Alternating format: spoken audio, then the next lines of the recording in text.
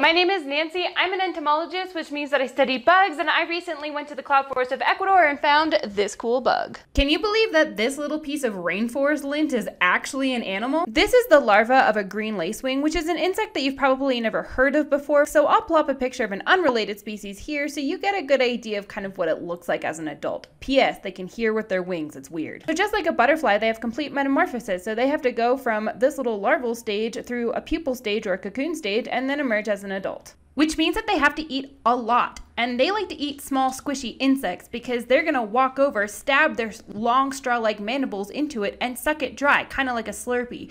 But because they're also soft, squishy insects and hanging out in the open, they cut little pieces of whatever the hell they can find and stick on their back to act like camouflage because it's like a walking pile of trash. For this reason, they're also called junk bugs. This one is sporting what looks to be moss and lichen.